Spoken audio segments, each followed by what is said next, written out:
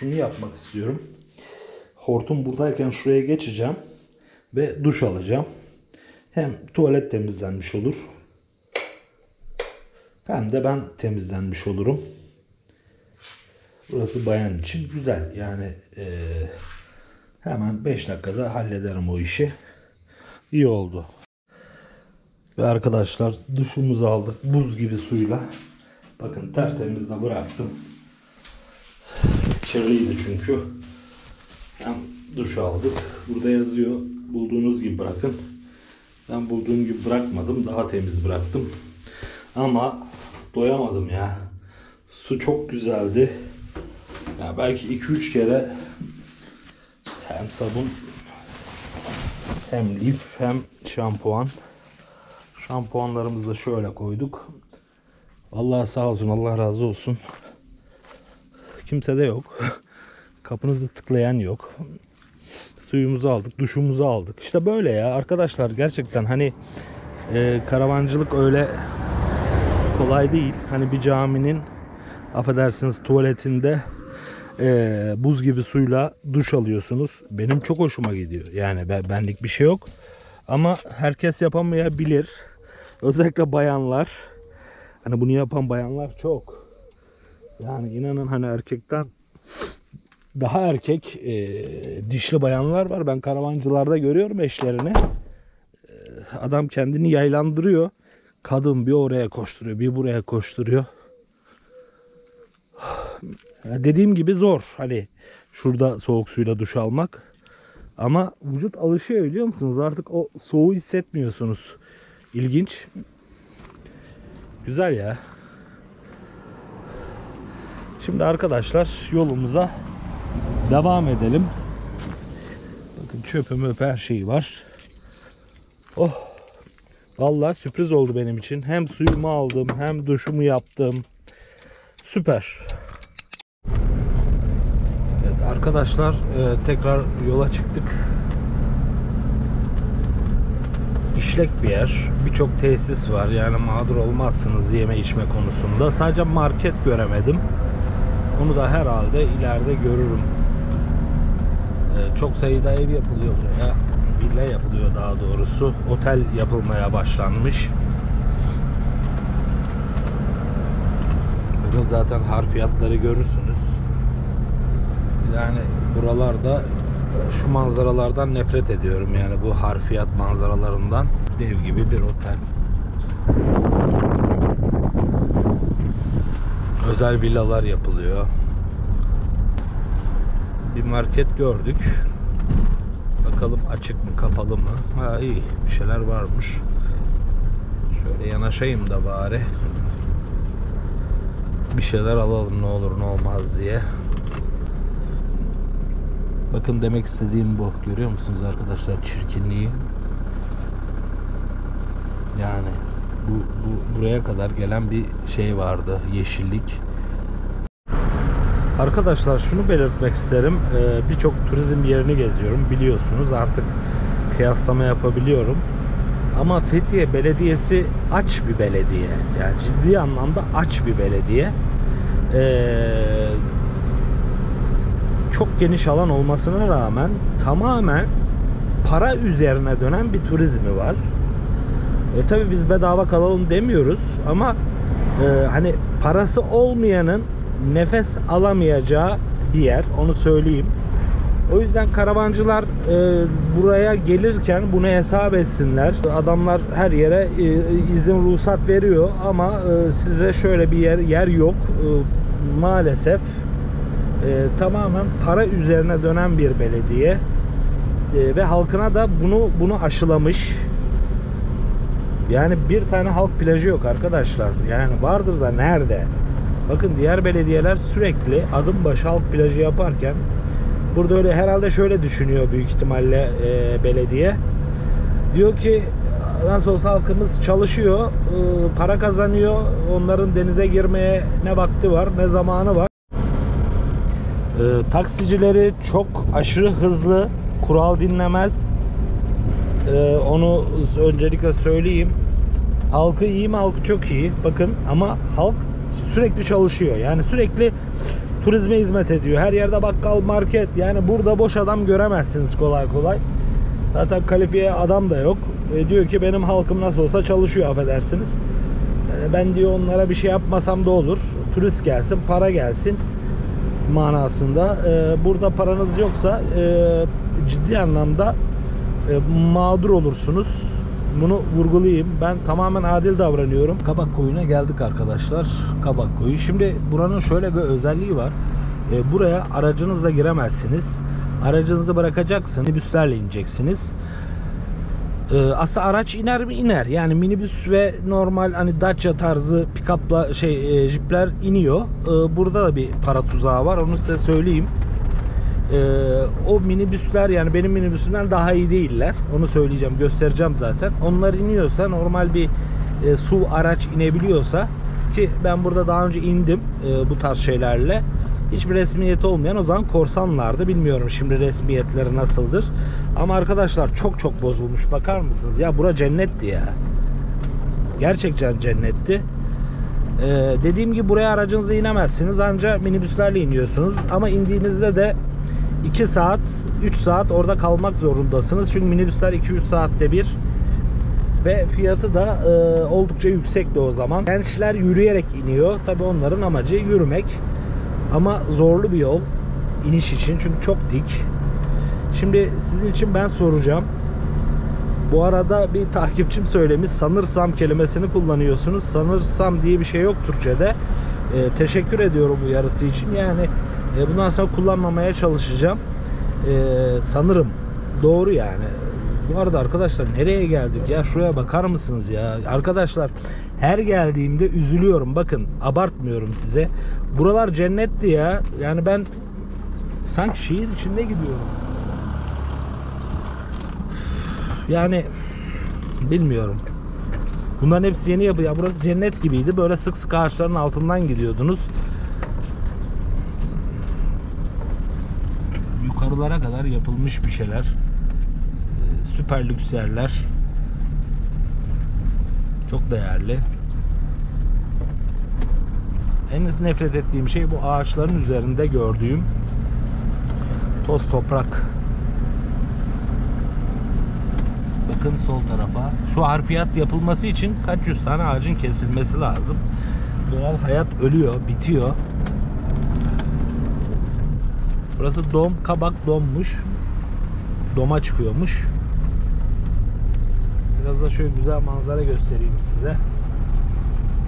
Bu bölüm komple yol ve tespit videosuydu. Çünkü her e, gittiğim yerin tespitini bir video ile yapıyorum.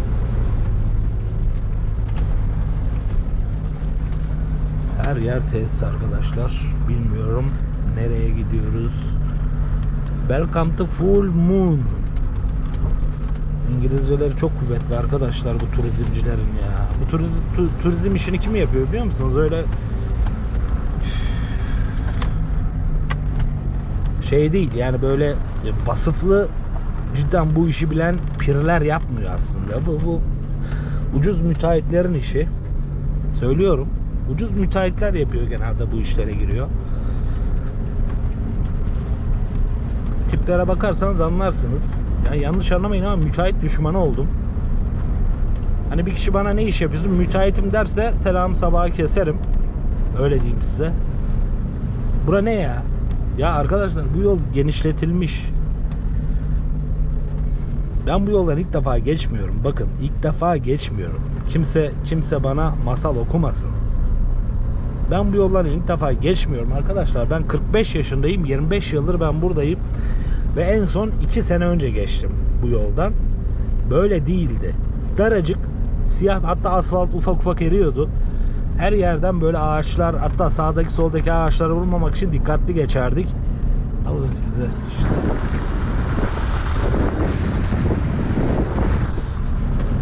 Arkadaşlar burası Kabak koyu olması lazım. Burada bir tavan var arkadaşlar. Yani bu yolun böyle yapılmaması lazımdı. Bu yolun yapılma amacı da size söyleyeyim mi? Otellere müşterilerin ve servislerin, taksilerin rahat gitmesi.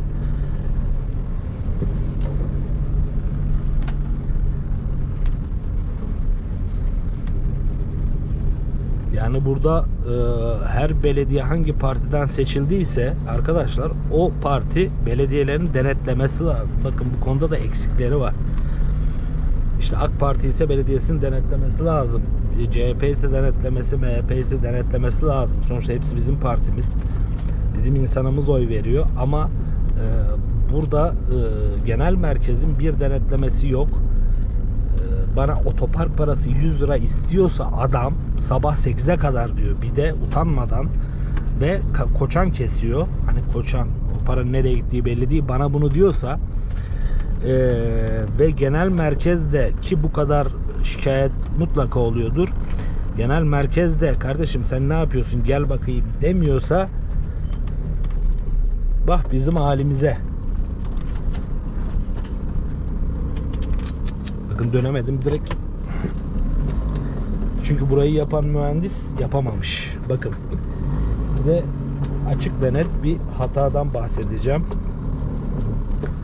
Şimdi bu yolda bir mühendislik hatası var mı? Var arkadaşlar. Oraya kadar geniş vermiş. Asıl şu tarafa geniş vermesi lazımdı. Bakın mühendislik hatasını görün. Araç dönemiyor buradan. Yani adam fark etmese direkt ön tekerler gidecek. İşte görün. Bakın. Normalde orası geniş olması lazım. Kim hangi akıllı yaptıysa burayı yapmış. Yani bu belediyenin e, yol mühendisleri yok. Şu araç buraya gelse dönemez ya. Bilmeyen biri. Ben giriyordum az daha ön tekerlerden. Bariyer de yok.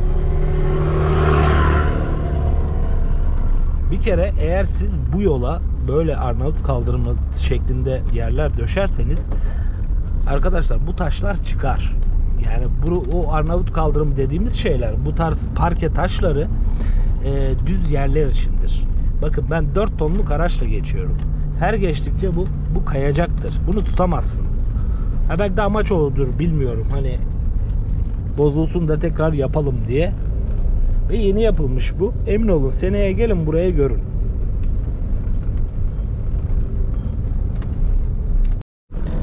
Ve arkadaşlar yeni bir macera. Kabak koyuna iniyoruz. Arkadaşlar eskiden burada şey vardı. Eee minibüsler iniyordu. Hala iniyor.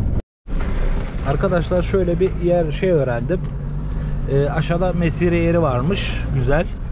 Ee, oraya gidiyorsunuz. Günlük 40 TL veriyorsunuz. Ee, konaklayabiliyorsunuz. Güzel. O da hoşuma gitti. Yeni farklı bir deneyim arkadaşlar. İşte ben bunu seviyorum. Sürekli temde işte Gazi Osman Paşa, Beylikdüzü, Beylikdüzü orası, burası gitmek istemiyorum. Arkadaşlar mesire alan dediği yer burası. Araçlar dip dibe park etmiş. Ama biz herhalde aşağı kadar ineceğim ben. Yavaş indikten sonra hiçbir problem yok. Aleyküm selam usta. Heh. Ben bir yer göstereyim. Aha. Bu ebatta bir şey alabileceğim bir yer var.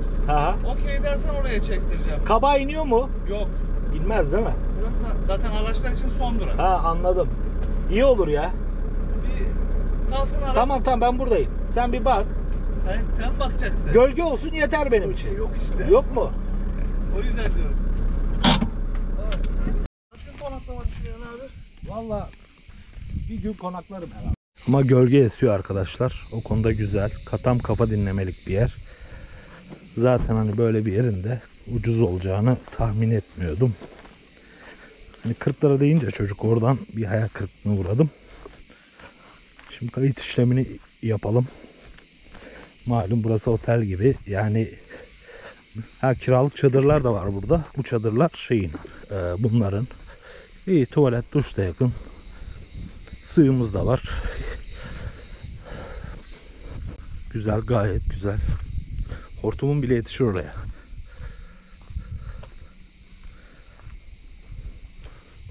Çok güzel arkadaşlar.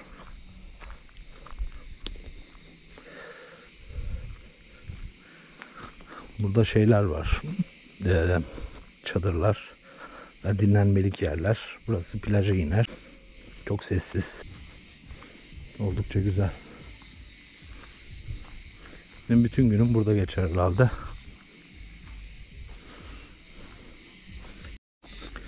Arkadaşlar oldukça güzel bir yer. Ee, hemen uyardı dedi e, uçak modunu alın çünkü e, yurt dışına bağlanabilirsiniz dedi.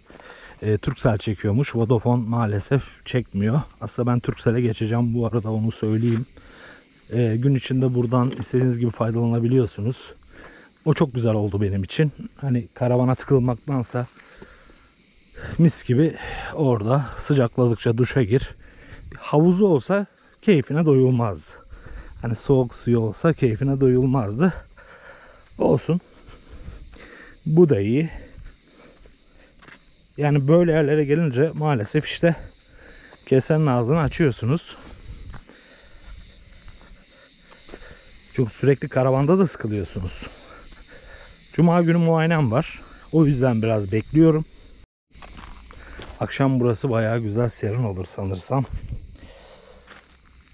Karavanımızı açtık. Şimdi niye açtım?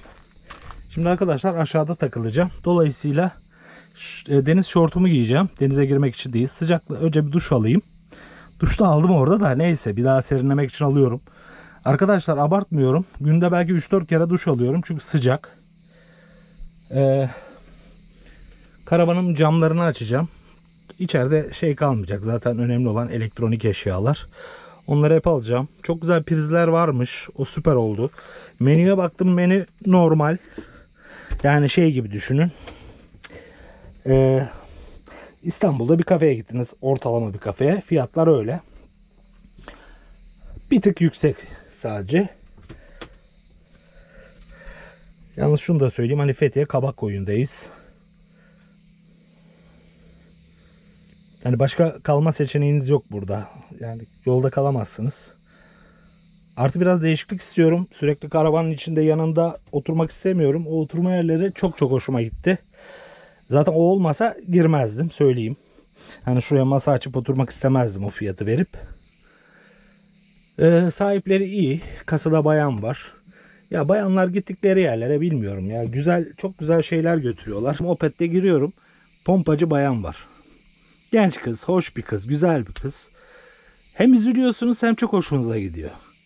Ya niye üzüleceksin? Kız ekmeğinin peşinde. Ee, bu arada aracınızla gelecekseniz burası evet engellilere göre bir yer. Onu söyleyeyim. Ee, öyle çok inişli çıkışlı değil. Ee, özellikle tesisler e, bayağı kullanışlı. Arkadaşlar bütün camları açıyorum. Sineklikleri kapatıyorum. Değerli eşyam olmayacak zaten. Bu arada şu var. Şurada bir defo var arkadaşlar. Şu minder var ya. Bakın burası gayet iyi. Fakat bu tarafa yattığınız zaman şurada bir defosu var. Bu belli. Direkt şu demire geliyorsunuz. Ben özellikle battaniye seriyorum ki o kısma yattığım zaman sıkıntı olmasın. Şimdi toplanıp aşağı ineceğim.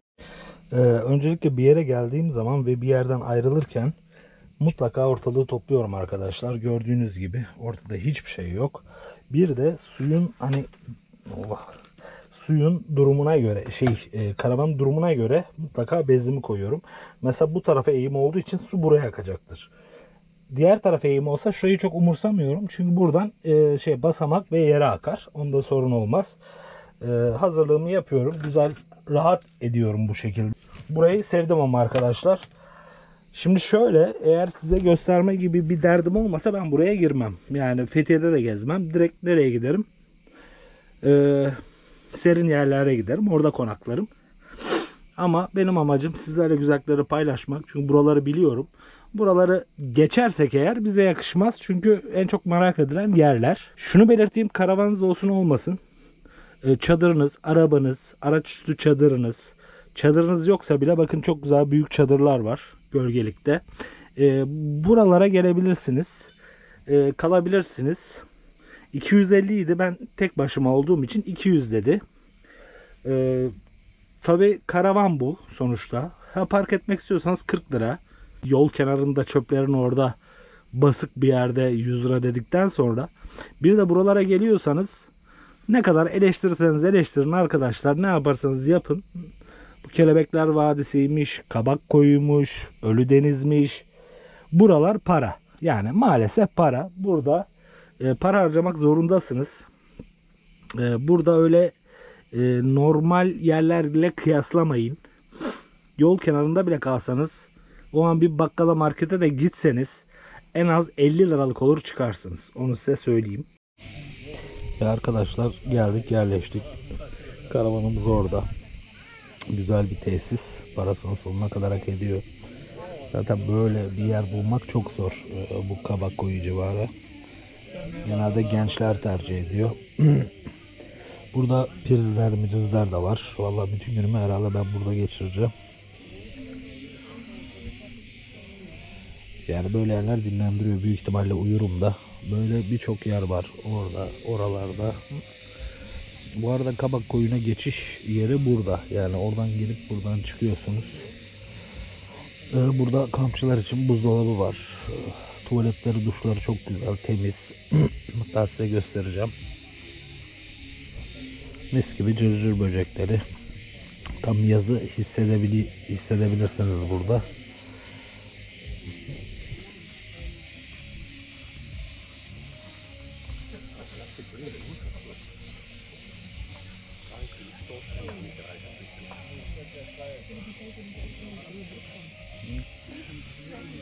Buradan kısıtlı görünüyor ama alan büyük. Araçlar genelde oraya park ediliyor. Personeller ilgili.